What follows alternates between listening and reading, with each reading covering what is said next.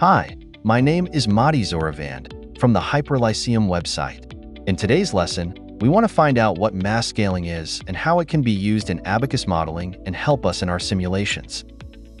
First, we need to address the reasons for the necessity of using mass scaling and the conditions for employing this technique. Processes with a dynamic nature, but with a loading rate and process speed that allow them to be considered static, are called quasi-static processes. In quasi-static processes like deep drawing, forging, and rolling, we should use dynamic implicit and static general steps. Considering that significant deformations occur in these processes, and it may require a lot of solution time for the model to complete and converge, we can use the dynamic explicit step instead of the dynamic implicit step. But before that, let's discuss the possible scenarios we may encounter while using the Abaqus Standard Solver with static general and dynamic implicit steps in our simulations. The first is that our problem can be solved with a reasonable time increment, which is our number one case, that we can use the dynamic implicit and static general steps. But we may face other situations. The second case is that our problem can be solved after a very long time and we need a lot of increments, very short time increments, and a high calculation cost. The third case is so that our problem will not be solved completely and the job we submitted will abort, and we will face errors such as too many attempts or excessive element distortion. In these two cases, our solution is to use the explicit solver, which means we should use the dynamic explicit step. When using the explicit solver, we have to consider the situation of our problem in such a way that the assumptions of quasi-static simulation will be fulfilled for us. However, the solution of dynamic explicit may have a lot of time and time-consuming costs. In such situations, we use a technique called mass scaling. In this step, I want to explain to you what mass scaling formulation is, and then we will use it in the Abaqus software, and we will apply it and investigate its effects on our simulation. As I explained before, we have a parameter called minimum time increment which is indicated as delta t. Our time increment is equal to L, which is the specific length of our element divided by c, which is the wave speed in our material. In the same way that it can be determined L returns to our meshing and the mesh size.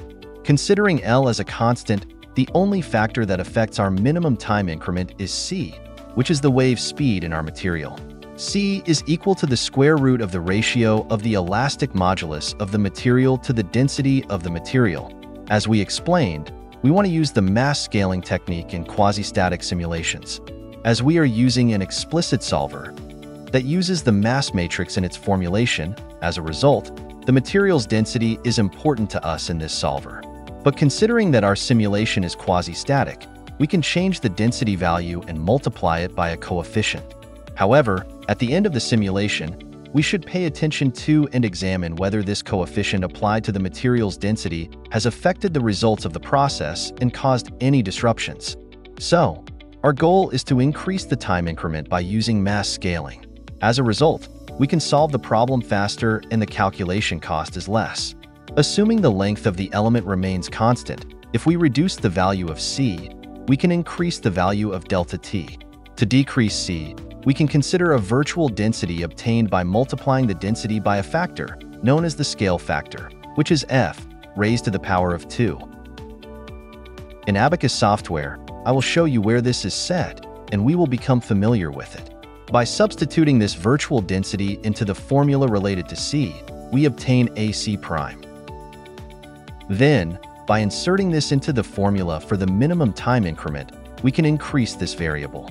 This process, known as mass scaling, allows us to reduce the analysis time, simulation time, and computational cost of our simulations in Abaqus.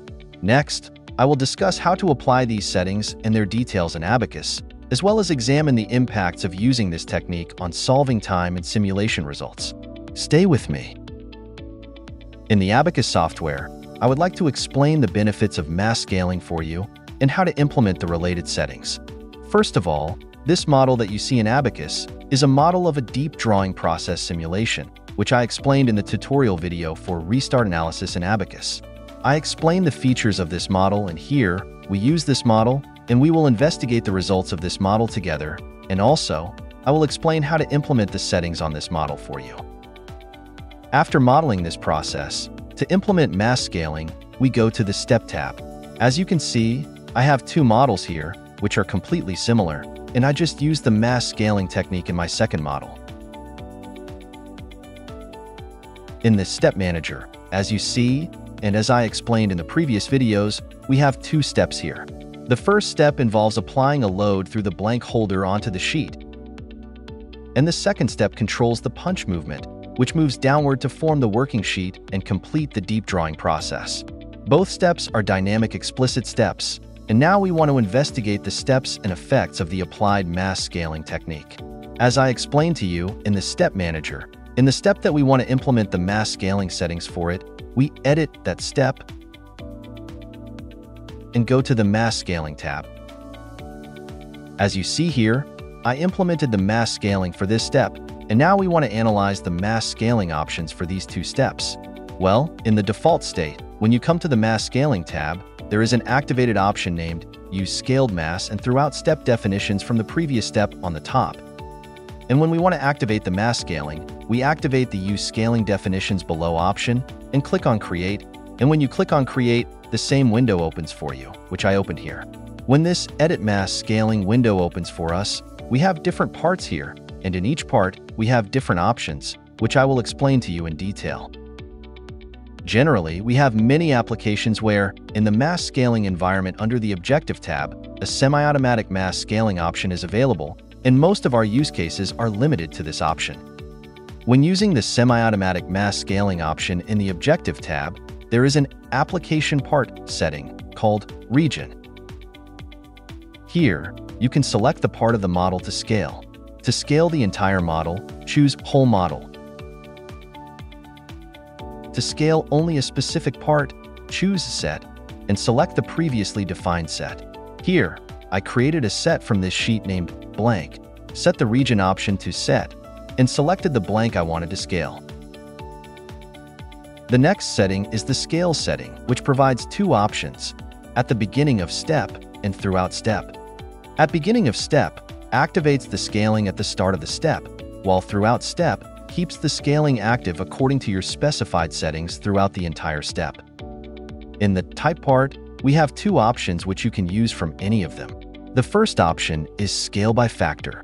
If you recall from the PowerPoint section, where we reviewed the scaling formula to define virtual density, rho prime, let me explain that rho prime is equal to f to the power of 2 multiplied by rho, where f to the power of 2 is the scale factor.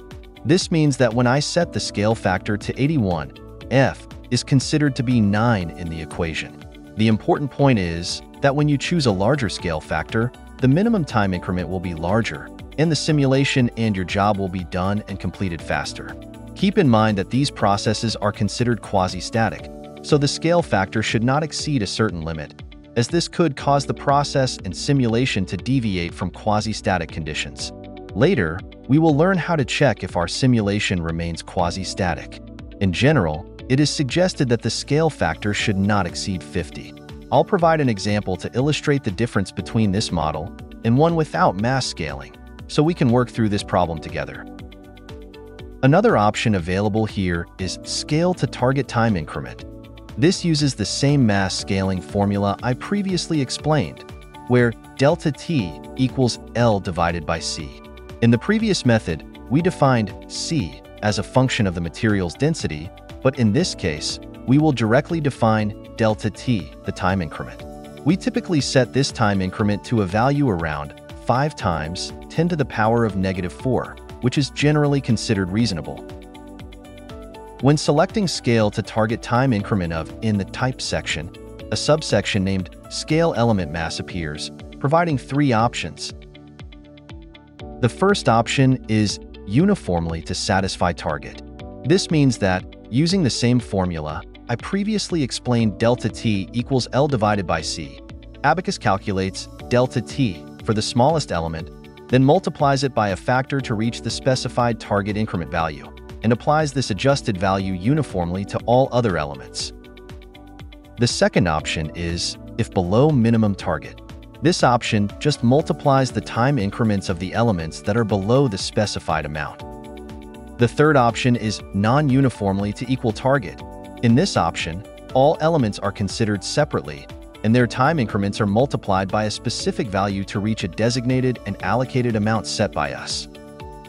The frequency section becomes active when we choose the Throughout Step option. In the frequency section, we have two options for scaling. The first option is every in increments, which means that the mass scaling formula we explained earlier is applied every 10 increments. If we select the second option, scale at in equal intervals, the simulation estimates, for example, that it will complete in 100 increments. By entering the number 10, the total 100 increments are divided into 10 equal intervals, applying mass scaling at each interval. These were the settings for semi-automatic mass scaling, which we use frequently. The second section is automatic mass scaling, which has settings similar to the previous section but is specifically related to the rolling process. In rolling processes, where elements are elongated, significant changes in element mass can greatly affect results and may be undesirable.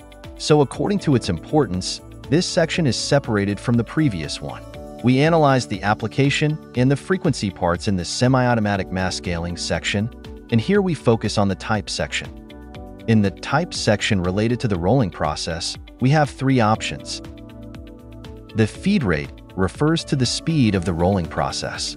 The extruded element length is the secondary length of our elements after the process and deformation. The nodes in cross-section refer to the nodes in our desired cross-section, which we can specify in this section.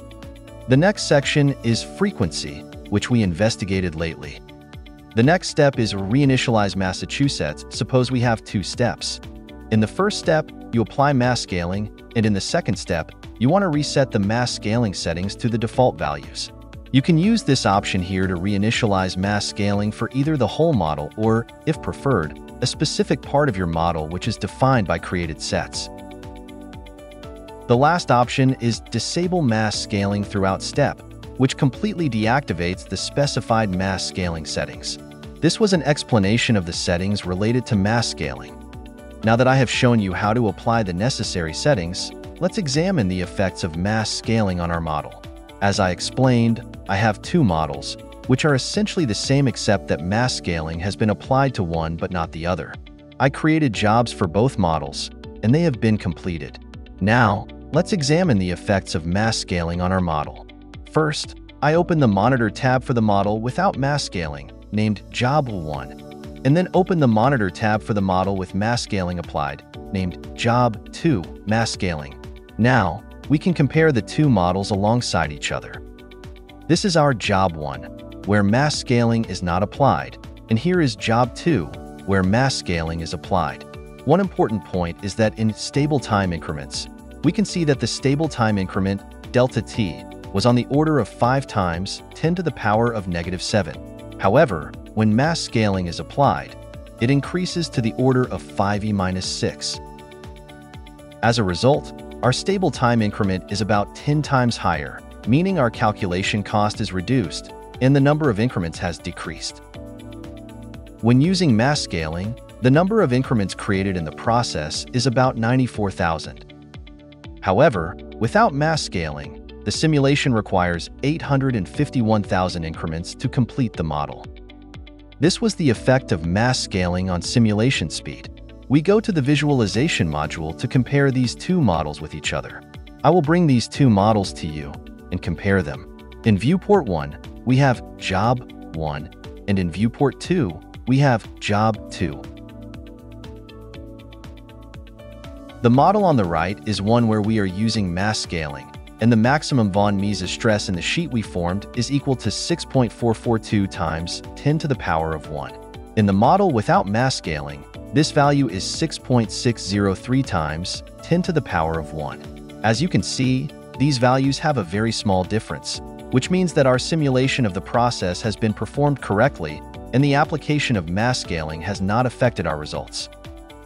This is the deep drawing process that I will show you to illustrate how this process is carried out. I will keep the window on the right, which relates to the model with mass scaling.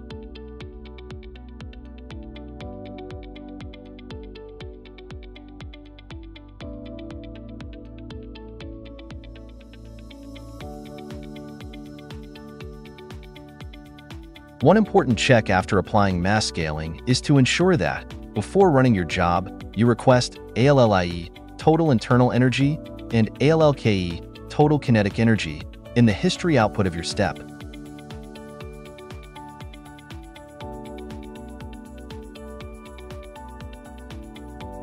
In the visualization module, plot both internal energy and kinetic energy together in a single diagram, as I have done here. At the end of the solution, you should examine the kinetic energy of your model, represented by this small blue curve, in relation to the total internal energy, indicated by the red color, to ensure that the ratio is less than 10%.